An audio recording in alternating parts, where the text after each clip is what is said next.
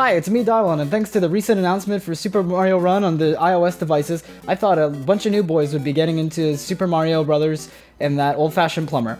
The game is no stranger to difficulty, so I thought that maybe I would do a quick tutorial on how to beat the original Super Mario Brothers on the Nintendo Entertainment System, and on the Wii U Virtual Consoles.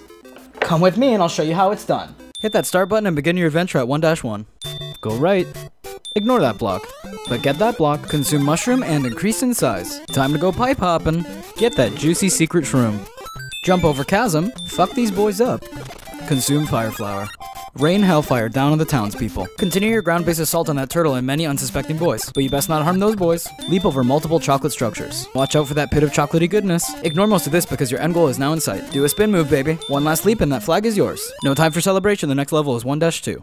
Watch this cinematic masterpiece of a cutscene. Mamma mia, that's a spicy meatball. Hop over these elaborate stone structures. Get rich, baby, yeah. Hit this very specific stone block. When you come across this row of coins, leap across the chasm and gobble them all up. Hit these two blocks in rapid succession to receive yet another juicy tasty mushroom. Jump over the littlest shop of horrors. And now it's time for a bit of elevator action. No need to select a floor because this lift is automized. Here you see me go down the wrong pipe, but with the help of movie magic, we're at World 4-1. Exit this rather large castle and advance to the right yet again. You'll soon find that tiny spiny men are being rained down upon your person, and the culprit is this sneaky little boy up in the clouds. You'll have to dodge this bolstering barrage of boys, but once you've made it to the 4 question block platform, you'll have yet another opportunity to treat yourself to a secret shroom. Mmm, yummy. Give that conniving cloud man what for and move on to the next section. Here you'll find many a piranha and many a pipe. Do your best to avoid getting eaten and the flag will once again be yours for the taking. But this is only the beginning of World 4, the difficulty is ramped up in World 4-2. You're once again treated to a cutscene directed by the late great Steven Spielberg, and Mario is once again dropped into the murky underground of the Mushroom Kingdom. I'll be honest, this level is quite challenging, so I thought we should just jump into the ceiling and avoid this whole mess. Go right. Like Sonic the Hedgehog, I am a man of speed. Let us warp to World 5-1, where the going really does get tough. As you can see by the trees that resemble thick cotton ripped by your favorite YouTube vaper, this level is extremely gaseous. Another example are the white pipes dyed said color as a callback to Lord of the Rings Gandalf the White.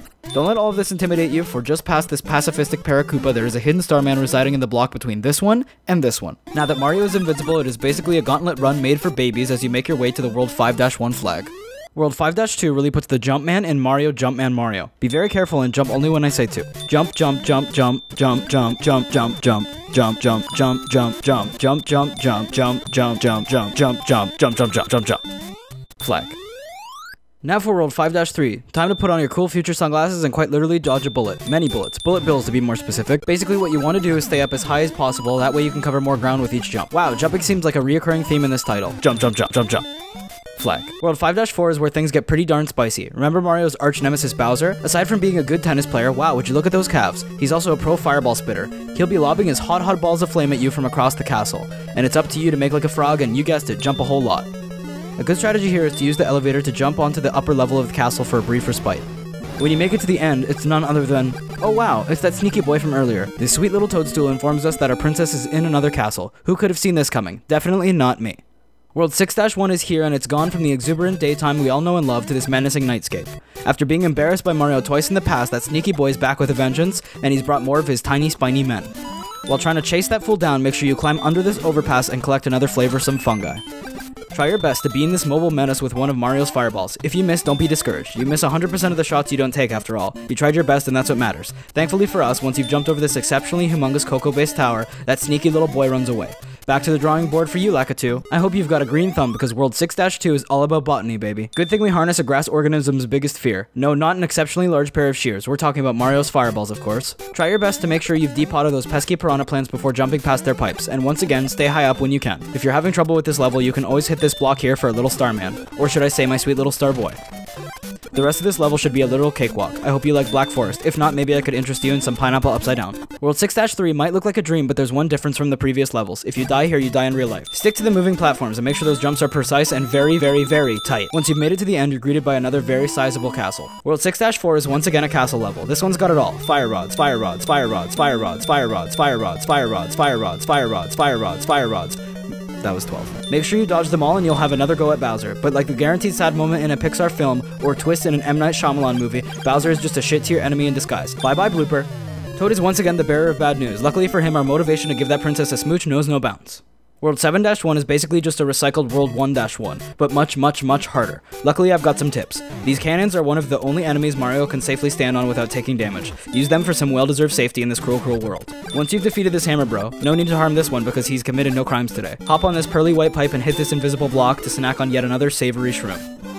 Now dab. In this secret coin-filled room, your greed is really put to the test. You're no Wario, so leave the remaining coins be. Head back to the surface and we're almost home free. Use the small black beetle for leverage and grab onto that flagpole, buckaroo. On to World 7-2. Paul Thomas Anderson's directorial talents really shown in this scene. Your boy Dylon isn't a fan of water levels as they make me very anxious, so just remember what Will Smith said in the DreamWorks hit fish film Finding Dorothy. Just swim. Once you've swam across the whole level, you're ejected through this level's blowhole and are free to add another flag to your collection. I really wish I had more advice for World 7-3, but you just have to go right. Even if you stop for a second, this fish will fuck you. Go right, grab flag. 7-4 is the final castle level. The final castle level with a fake Bowser, that is. This one is actually very, very easy. Go right, defeat this imposing imposter, and move on to the final world. 8-1 sure is a fun one. Start off by jumping onto this black, buzzy beetle and send him flying into your foes. But watch out, because he'll come right back at you if you're not careful. Take out these Koopas and hold on to that run button to keep going even over these chasms. Isn't that neato? In between these two pipes is a poison mushroom. Gotcha, it's just another one-up. None of these enemies pose much of a threat, and it's fairly easy to just jump over all of them. Once again, we have another chasm, and another chance to go beetle bowling.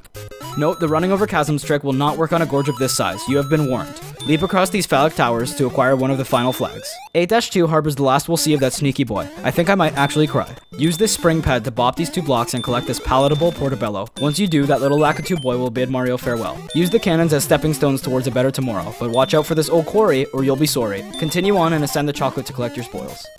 8-3 is somewhat of a siege on Bowser's castle as you break through his defenses. You'll have to dodge cannon fire, a Koopa, more cannon fire, a Piranha Plant, two Hammer Bros. This cannon fell asleep. This Koopa, two more Hammer Bros, another Piranha Plant, this Koopa, another Hammer Bro, his bro, and a final Piranha Plant, and another pair of Hammer Bros. Now ascend the floating staircase of chocolate to receive your second last flag.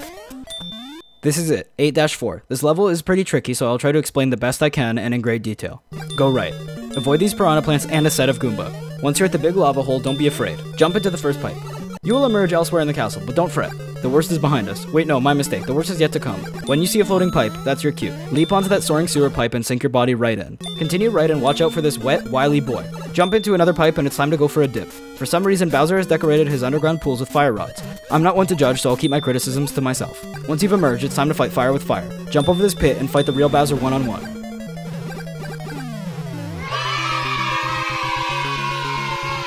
Finally, time to obtain that sloppy smooch we've been waiting so long for. Mario-san, wa domo arigatou gozaimashita.